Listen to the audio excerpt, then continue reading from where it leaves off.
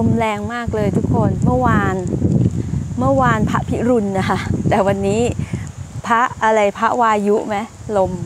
ลมจะแรง เดี๋ยววันนี้เนจะพูดคอนเทนต์เกี่ยวกับเรื่องนี้นะ สวัสดีน้องเบนะคะ เดี๋ยวเนจะพูดเรื่องอเกี่ยวกับเรื่องของความที่ศาสนา หรือว่าพุทธศาสนาคำสอนของศาสดาที่พระพุทธเจ้าของพวกเราที่ยิ่งใหญ่เนาะเป็นคำสอนที่ไม่มีวันล่มสลายนะคะ อ่า วันนี้ลมเย็นนะเนี่ยจะบอกให้ว่าเหตุผลที่ไม่ล่มสลายเนี่ยสี่ประการ ยังไงก็ไม่ล่มสลายทุกคน เพราะฉะนั้นช่วงช่วงเวลาเนี้ยเราอาจจะได้ยินข่าวอะไรอะไรที่เรารู้สึกระแคะระคายหรือเป็นความรู้สึกเป็นสังขารเป็นการปรุงบ้างเนาะแต่เนี้จะบอกให้ทุกคนรู้เอาไว้นะคะว่ายังไงพุทธศาสนาก็ไม่มีวันล่มสลาย แต่ทีเนี้ยเราต้องเข้าใจให้ตรงก่อนว่า คำสอนของพระพุทธศาสนาคืออะไรเนาะถ้าใครที่เคยได้มีโอกาสดูหนังเรื่องพระพุทธเจ้ามหาศาสดาโลกนะคะ จะมีอยู่ตอนหนึ่งที่พระพุทธเจ้าท่านเนี่ยไปนั่งเนาะไปนั่งอยู่แล้วท่านบอกว่าต่อไปอะทุกศาสนาทุกศาสนาจะหลอมรวมเป็นหนึ่งเดียวกัน ใครเคยไปดูถ้ายังไม่เคยไปดูต้องไปดูนะ พระพุทธเจ้ามหาศาสดาโลก ซึ่งหนังเรื่องนี้แบบคนคนที่สร้างอะนะคะ อันนี้ขอเครดิตหนังนิดนึง ผู้สร้างเนี่ยเป็นผู้ที่ศรัทธาในพระพุทธศาสนาเนาะแล้วก็เลยนำเรื่องราวเนี่ยมาเขียนเป็นเป็นหนังนะคะเป็นหนังเรื่องพระพุทธพระพุทธเจ้ามหาศาสดาโลก ซึ่งค่อนข้างที่จะละเอียดมากเลยทุกคน แล้วก็มีอยู่ตอนหนึ่งที่เนบอกว่าพระพุทธเจ้าท่านไปนั่ง แล้วท่านบอกว่าต่อไปเนี่ยทุกศาสนาจะหลอมรวมเป็นหนึ่งเดียวกัน และนี่คือที่มาที่เนบอกว่า จะไม่มีวันที่คำสอนของศาสดาที่ยิ่งใหญ่เนี่ยล่มสลายเนื่องจากสิ่งที่พระพุทธเจ้าท่านเห็นอันที่หนึ่งนะคะคือความจริงเนาะเป็นสัจธรรมคำว่าเป็นสัจธรรมก็คือท่านไม่ได้คิดค้นหรือประดิษฐ์ขึ้นมาเองนะคะมีอยู่แล้วคำว่ามีอยู่แล้วคำว่ามีอยู่แล้วนะคะในโลกใบนี้นะเพื่อนๆทุกคนเนี่ยจะบอกให้ในโลกของเราใบนี้มันจะไม่มีสิ่งใดที่เหนือไปกว่าสิ่งเหล่านี้ ประการที่หนึ่งนะคะ ในโลกเนี่ยทุกสิ่งประกอบกันขึ้นมาเนี่ยมันจะมาจากธาตุทั้ง 4 ดินน้ำไฟลมค่ะ แล้วเพื่อนๆนึกภาพนะ ดินเนี่ยจะไม่มีวันทำลายดินเนาะดินนะคะเขาจะไม่ทำลายดินนะน้ำเขาก็จะไม่ทำลายน้ำลมจะไม่ทำลายตัวเองนะคะลมจะไม่ทำลายลม ไฟก็เหมือนกันไฟจะไม่ทำลายไฟ เช่นเดียวกับชีวิตค่ะชีวิตจะไม่มีวันทำลายชีวิต แต่ทั้งนี้และทั้งนั้น สิ่งที่เนกล่าวมาเขาจะต้องรู้ตัวก่อนว่าเขาคือสิ่งนั้นเนาะเมื่อไหร่ก็ตามที่มนุษย์อะไม่รู้ว่าตัวเองคือสิ่งมีชีวิตคือชีวิต มนุษย์ไม่เข้าถึงชีวิต การเข้าถึงชีวิตเนี่ยนะคะ ใช้เครื่องมืออะไรเพื่อนๆรู้ไหมใช้เครื่องมือก็คือความความรู้สึกค่ะ เราจะเข้าถึงชีวิตได้ แต่ปัจจุบันเนี้ยมันมีปัญหาเกิดขึ้นเนื่องจาก เราใช้สัญลักษณ์มากเกินไปเนาะเราไปอยู่กับความคิดความปรุงแต่งมากเกินแล้วสัญลักษณ์เนี่ยจะเป็นสิ่งที่ดีถ้าเกิดว่าสัญลักษณ์นั้นเป็นเครื่องมือที่จะทำให้เราไปสู่เขาเรียกว่าไปสู่การเชื่อมต่อความชีวิตอันนี้พระบิดาอวยพรนี้ใหญ่เลยครับชอบชอบชอบนี่เดี๋ยวเล่าเล่าต่อ แล้วนี้จะบอกแบบนี้นะคะว่า สัญลักษณ์เนี่ยถ้าเกิดเรานำสัญลักษณ์นะไม่ว่าเราจะนับถืออะไรนะคะนับถือศาสดาของเรา แต่ศาสดาหรือว่าเครื่องมือนั้น ถ้ามันสามารถเชื่อมต่อให้เรานำไปสู่การเข้าถึงจิตวิญญาณเนาะเข้าถึงความเป็นชีวิตเนี่ย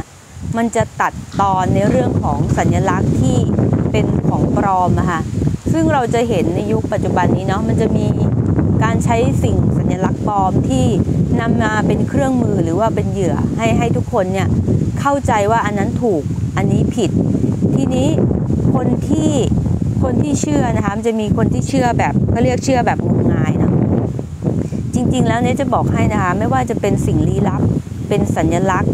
เป็นอะไรก็ตามที ถ้าถ้าเราเนี่ยเข้าไม่ถึง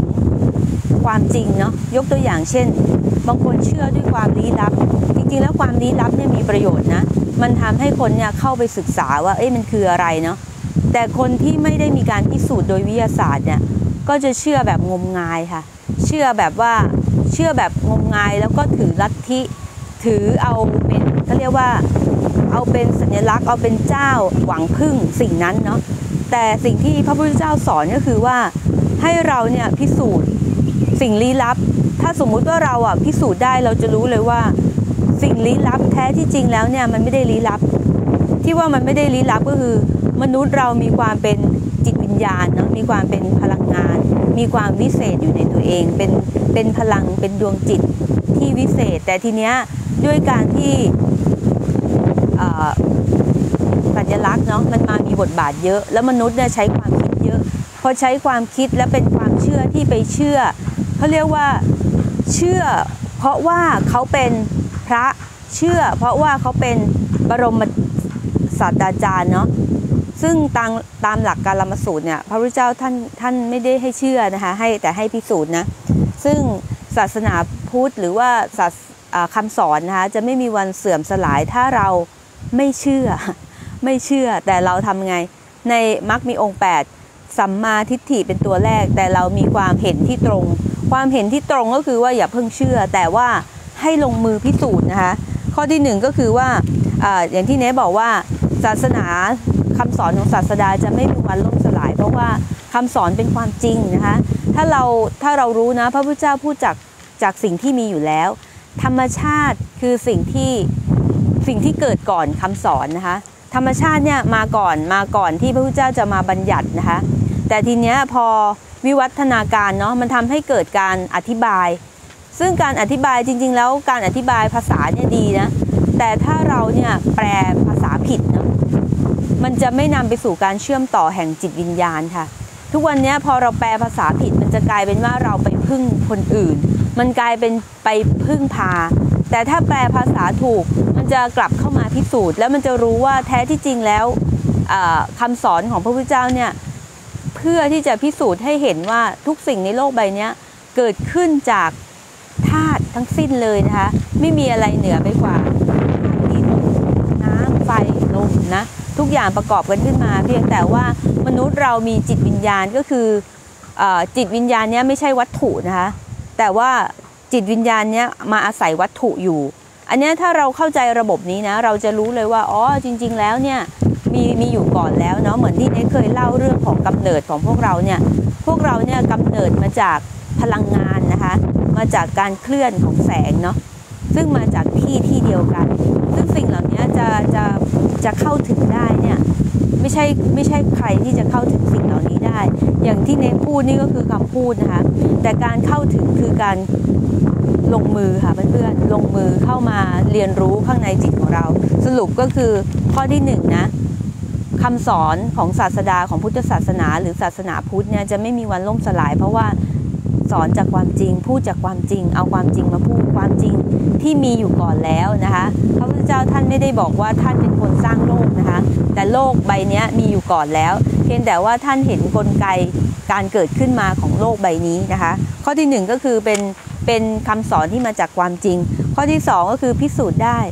การพิสูจน์ได้นะคะเพื่อนๆนี่จะบอกให้แบบนี้ การที่เราจะลงมือพิสูจน์นะคะ ก็คือเราจะต้องมีความศรัทธาเนาะมีความเชื่อก่อน ถ้าคนที่บอกว่าเป็นเป็นชาวพุทธแล้วมีความศรัทธาคำว่าศรัทธาเนี่ยไม่ได้แปลว่าไปไหว้เจ้า เข้าทรงบวงสรวง ความหมายของคำว่าศรัทธาก็คือว่า สมมุติเวลาเราศรัทธาใครสักคนหนึ่งเนี่ยเราจะต้องเข้าไปใกล้ชิด แต่ว่าการศรัทธาในในคำสอนเนี่ยจะต้องเข้าไปเรียนรู้เนาะ เข้าไปเรียนรู้ว่าคำสอนเนี่ยที่ศาสดาของเราสอนเนี่ยคืออะไร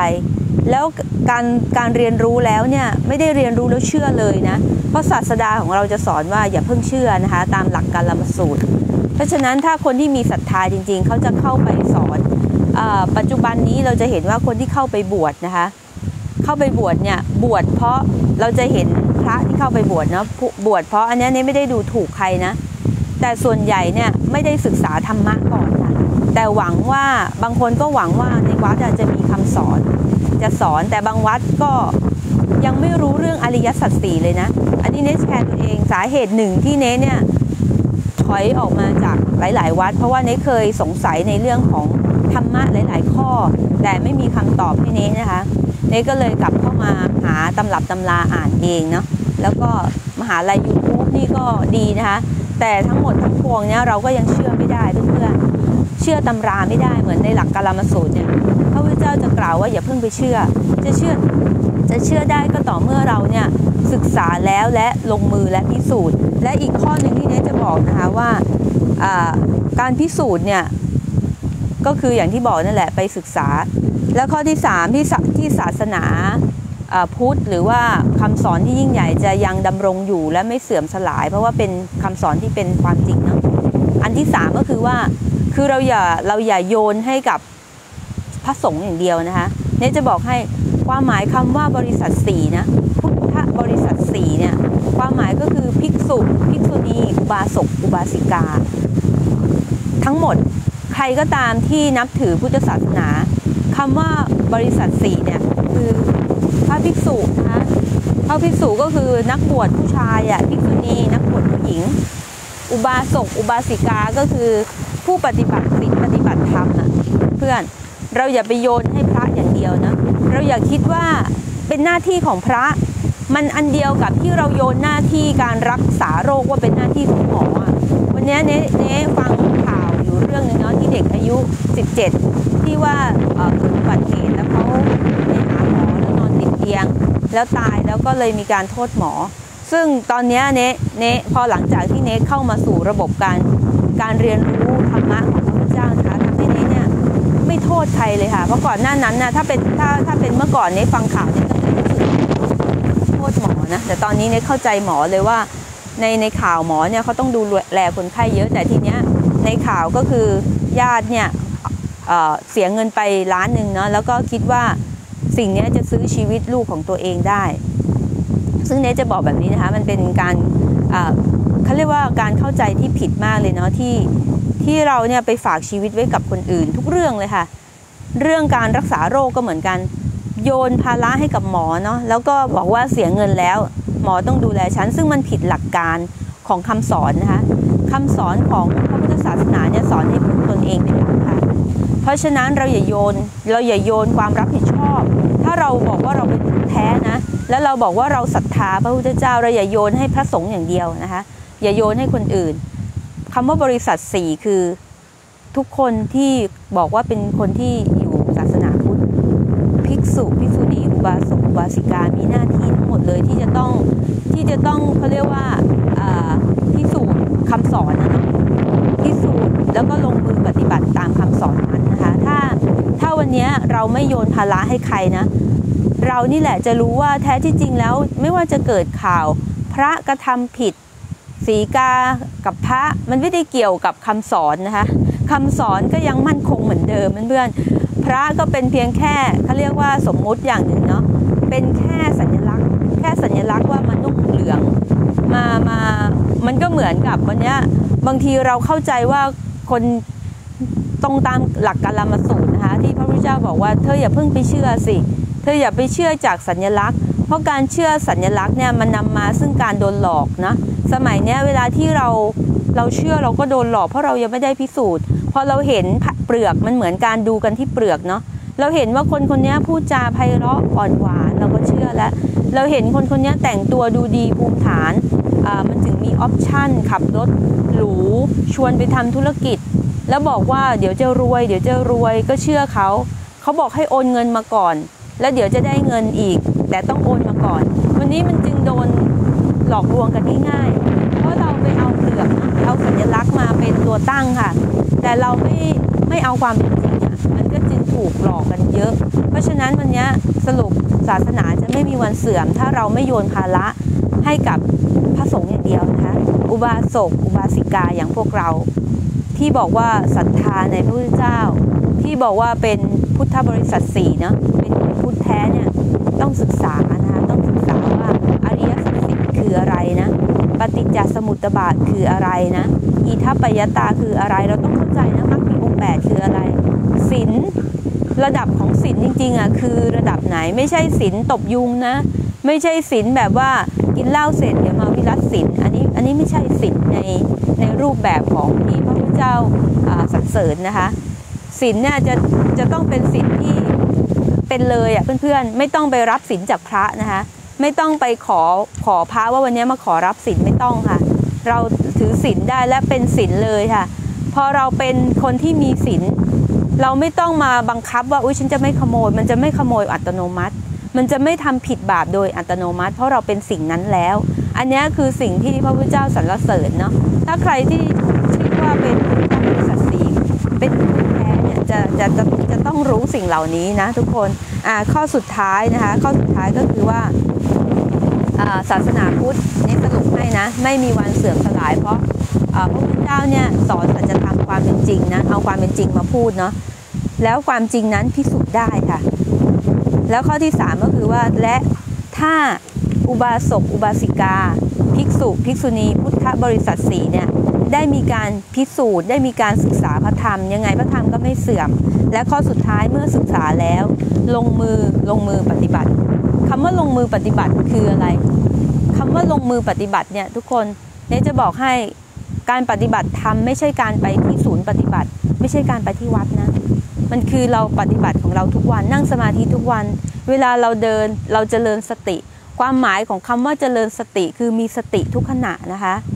มีสติทุกขณะมีการปารบความเพียรอยู่ข้างในเนาะเราไม่เพียรแต่เราก็ไม่พัก พระพุทธองค์บอก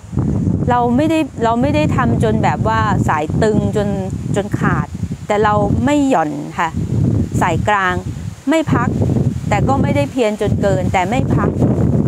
อันเนี้ยทุกคนจะต้องทำตลอดเวลานะคะเมื่อเราจะเดินเมื่อเราจะเหินเมื่อเราจะกินมันจะมีสติในการกำกับในการควบคุมอยู่เสม อเมื่อเราเสพข่าว คนที่เสพข่าวนะแล้วบอกว่ามันจะมีบางเพจเนาะแล้วก็เอาข่าวอันนั้นมายำมาด่ามาอะไรเงี้ยจริงๆเนไม่สนับสนุนการใช้ความรุนแรงการใช้คำด่า แต่เนสนับสนุนการมีสติว่าหลักของความเป็นจริงแบบนี้นะคะเขาเรียกว่าหลักสัจธรรมนะเราอยู่ภายใต้กฎเกิดเกิดขึ้นตั้งอยู่ดับไปและเราอยู่ภายใต้กฎที่เราจะเห็นทุกปรากฏการณ์ค่ะ เหมือนพระปลอมเนี่ยมีมาแต่สมัยพุทธกาลแล้วนะพระเพื่อนทุกคนไม่มีตั้งแต่ยุคนี้เนาะมีมันตั้งนานนะคะแต่ทีเนี้ยความแข็งแกร่งของคำสอนน่ะจะแข็งแกร่งได้ก็อย่างที่ได้สรุปนะคะ เมื่อเราขึ้นชื่อว่าเป็นบริษัทสีนะบาสกบาสิกาเนี่ยศรัทธาแล้วต้องรู้ว่าพระพุทธเจ้าสอนอะไร เมื่อรู้แล้วก็ลงมือศึกษาแล้วก็ลงมือพิสูจน์ เมื่อพิสูจน์แล้ว แล้วคนที่พิสูจน์แล้วเนี่ยพอเข้าถึงความจริงนะคะ ก็จะรู้ว่าจริง ๆ แล้วสิ่งที่สำคัญที่สุดคือคำที่พระพุทธเจ้าต่อไปทุกศาสนาจะหลอมรวมเป็นหนึ่งเดียวกัน เพราะว่าเพราะว่าพอพิสูจน์แล้วจะรู้ว่าอ้าวแท้ที่จริงแล้วมันมีแต่ตัวชีวิตอะเนาะมันมีแต่ตัวชีวิตไอ้ตัวความคิดมาทีหลังไอ้สัญลักษณ์มาทีหลังนะคะสิ่งที่มาตั้งชื่อนั้นตั้งชื่อนี้ผู้หญิงผู้ชายมาทีหลังเออทุกอย่างที่ที่ ตั้งชื่อที่ตั้งเป็นสัญลักษณ์ มันก็จึงนำมาซึ่งปัญหาเยอะแยะเพื่อนๆแต่วันนี้ถ้าสมมติว่าเราเรามีชั้นเชิงเนาะเราก็เอาสิ่งที่มองว่าเป็นปัญหาเนี่ยเอามาเป็นเครื่อง เอามาเป็นเครื่องมือที่จะเชื่อมต่อไปถึงจิตวิญญาณ ที่ได้พูดคำนี้หมายความว่า วันนี้เรามีความทุกข์เราเอาทุกข์นั้นอะขึ้นมาเป็นบททดสอบค่ะยิ่งมีความทุกข์เยอะความทุกข์อะจริง ๆ แล้วถ้าเราตีความเป็นนะ ความทุกข์อะกำลังจะสอนให้เราได้เห็นตัวจริง ๆ ของชีวิตเนาะได้เห็นจิตวิญญาณข้างในของเราอะแต่บางทีเราเราไม่เคยเข้ากลับมาอยู่กับร่างกายเนาะเราไปอยู่กับความคิดหมดเลยพอไปอยู่กับความคิด มันก็จะมีความเชื่อที่เชื่อตามๆกัน มีสัญลักษณ์ที่บอกว่าเวลาเราเจ็บป่วยเนี่ยเราต้องไปโรงพยาบาลเราต้องไปหาหมอไม่ผิดนะคะแต่ว่าก่อนที่เราจะไปหาหมอไปโรงพยาบาลเนี่ยเราจะต้องเคลียร์กับตัวเองก่อน เขาเรียกว่ากลับมาดูใจของเราก่อน กลับมามั่นคงในจิตใจก่อน แล้วจริง ๆ ความทุกข์เนี่ยสอนให้เราทำใจให้มั่นคงค่ะ สอนให้เราฝึกความไม่หวั่นไหว ทุกอย่างที่เกิดขึ้นมาบนโลกใบนี้แม้แต่สิ่งอำนวยความสะดวกที่เกิดขึ้นนะเพื่อนๆอินเทอร์เน็ตที่เกิดขึ้นเนี่ยถ้าเราใช้เป็นนะ เราใช้เครื่องไม้เครื่องมือเป็นอะเครื่องไม้เครื่องมือนั้นอะจะส่งต่อให้เราอะเชื่อมต่อกับจิตวิญญาณได้ง่ายขึ้น เหมือนกับวันนี้เราได้รับความรู้จากใน YouTube ง่ายขึ้น โดยที่ถ้าเป็นแต่ก่อนเราจะไม่รู้เลยนะ ซึ่งข่าวที่เราเห็นที่มันเป็นข่าวดีข่าวไม่ดีเนี่ยจริงๆมันเกิดขึ้นมาตั้งแต่สมัยไหนสมัยไหนแล้วเพียงแต่ว่าในยุคนี้มันเครื่องมือสื่อสารมันถึงกันง่าย มันก็เลยรู้แต่คนที่เขาไม่เข้าใจก็ยิ่งยิ่งเป็นเรื่องตื่นกันไปใหญ่นะคะ ตื่นข่าว แต่ อย่างไรก็ตามสรุปเนี่ยอยากให้ทุกคนนะ เราจะทำให้คำสอนของศาสดาของเราเนี่ยเขาเรียกว่าไม่มีวันล่มสลาย เราจงอย่าโยนภาระให้พระสงฆ์อย่างเดียวนะคะ อุบาสกอุบาสิกาศรัทธาแล้วก็เรียนเนาะเรียนว่าพระเจ้าสอนอะไร อริยสัจสี่ไปเขาเรียกว่าไปศึกษาให้ถ่องแท้ให้แจ้งให้แทงให้ตลอดนะ แล้วเราจะแล้วเราจะเข้าใจว่าแล้วเราจะไม่โทษอะไรนะคะเพื่อนๆเราจะไม่มาโยนว่า เป็นเพราะสีกาทำให้ศาสนาเสื่อมไม่ใช่ค่ะ มันจะกลับมาสู่ตัวเราทั้งหมดเลย ถ้าวันนี้ตัวเราเนี่ยยังไม่มั่นคงยังหวั่นไหวอยู่ เราก็เป็นส่วนหนึ่งที่ทำให้ศาสนาเราล่มสลายเหมือนกันนะทุกคนโอเคนะเนี่ยพูดจบแค่นี้แหละอ่าเดี๋ยวให้ดูบรรยากาศ ไปละมาสั้น ๆ